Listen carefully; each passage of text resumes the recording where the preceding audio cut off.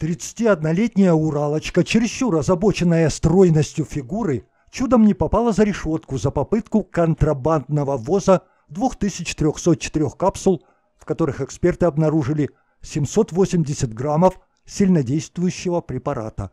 Дама через интернет заказала в Казахстане большую посылку, нафаршированную БАДами, биологически активными добавками, подавляющими чувство голода.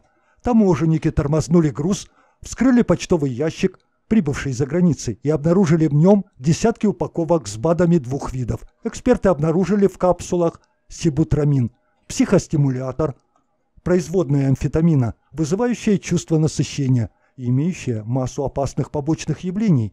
Такой препарат врачи назначают пациентам, страдающим ожирением, строго по рецептам и в ограниченных дозах. Как уточнили в Уральском таможенном управлении в России, сибутрамин еще в 2008 году был включен в список сильнодействующих препаратов, как анорексигенное средство. Заказ его по почте запрещен, если у человека, конечно, нет на руках назначения от лечащего врача. Уральская горе-контрабандистка об этом, вероятно, не знала, и потому легко отделалась условным сроком в три года и один месяц. Вообще-то за контрабанду сильнодействующих препаратов можно и в тюрьму угодить на 12 лет – и штраф схлопотать до миллиона рублей. А в 2022 году таможенными органами Урала было пресечено 24 факта контрабандной поставки сильнодействующих веществ в составе биологически активных добавок.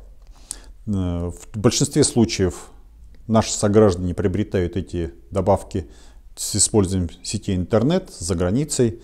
Поставки осуществляются использованием международных почтовых отправлений – на сайтах, где производится закупка, информация о действующем веществе чаще всего отсутствует.